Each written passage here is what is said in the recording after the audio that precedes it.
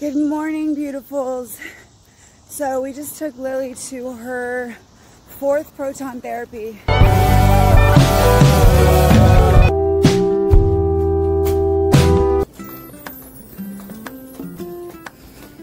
So we are at proton therapy. We are at number 17. So just two and a half more weeks and then we're done with this this cancer part of our story. Right, Lily? And I love our channel and I love sharing our story. Um, but I let the insecurities and the fears and things like that get a hold of me. I mean, for God's sakes, the beginning of this video is not even theatrical. You guys, I, I am so heartbroken by the stories I heard. Today was the first time that we were there at a time with other families. Um, so three other families were there.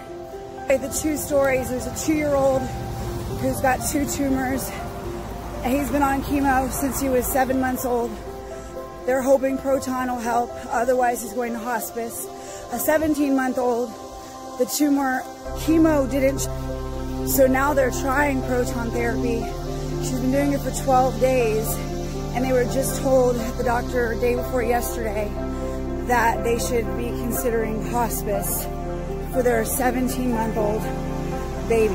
I walked, I didn't let them see me fall apart, but I walked out of there just crying with just heartbreak, sadness, praying. So be praying for Caden and Dahlia.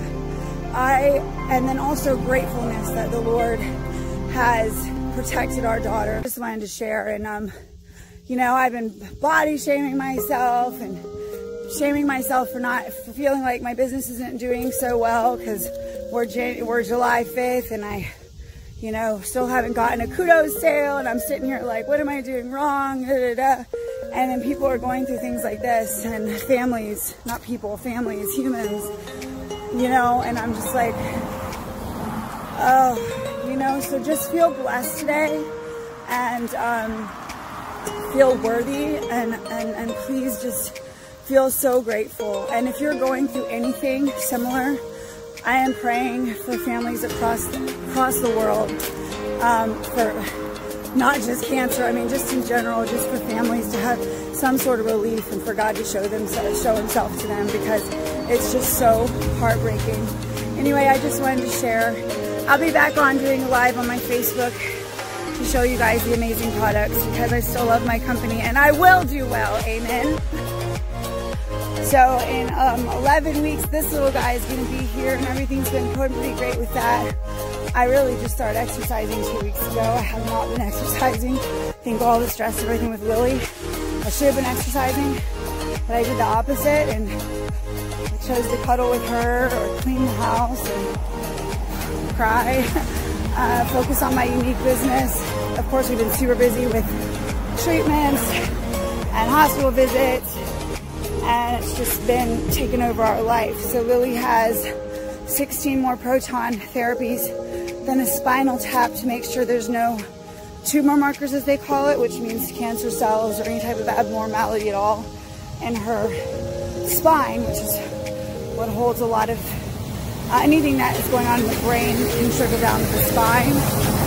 So anyway, I'm not a doctor, so I don't want to, that's what I've been told, and that's what I know so far, you know. Um, but anyway, so hopefully our cancer journey is to an end and it's MRIs she's 18 and we'll see how this affects her life from there on out. But um, stick around, subscribe.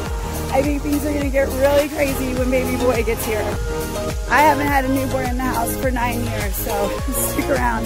Thanks for hanging out, you guys. Uh, my name is Brooklin, and I am mommy of the Talk About family. Bye.